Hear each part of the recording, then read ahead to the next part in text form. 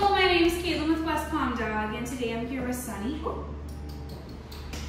And we're just working on Sunny's first day now. Sunny is a little bit nervous, so today we're just working on a lot of STAR puppy stuff.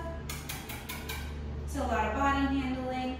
You see we're doing a lot of cuddling. I'm handling his ears. I am seeing if he's taking food, so I'm gonna go ahead and see.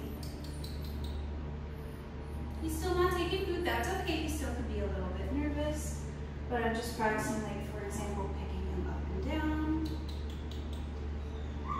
And he's not, he's not showing any signs of fear. I'm just petting up and down. He's a little anxious because there are a couple distractions in the room, but we're just keeping everything super positive today. So, for example, I'm seeing if he's letting me touch his paws, which he is. He's a very good boy.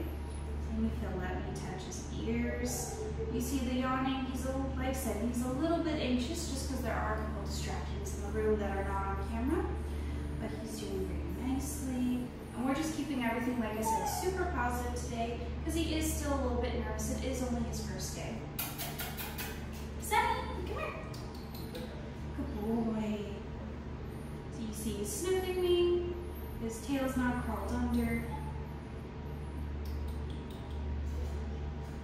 He's a very sweet puppy here.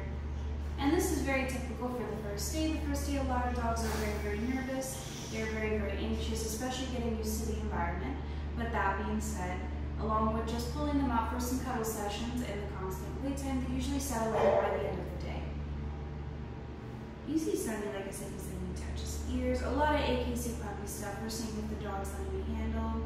See if he's letting me check his teeth. He's letting me check his teeth just fine. And I'm doing it very, very gently.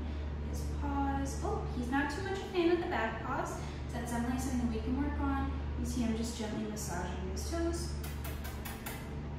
And as soon as he accepts food, I would also give a treat along to how can link that me touching his feet is a positive thing. You see he's letting me touch his tail. This is all very nice from Sunny. He's doing very nicely.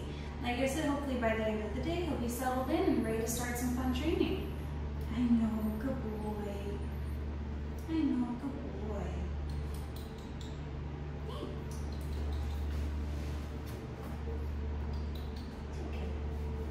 Hey. On.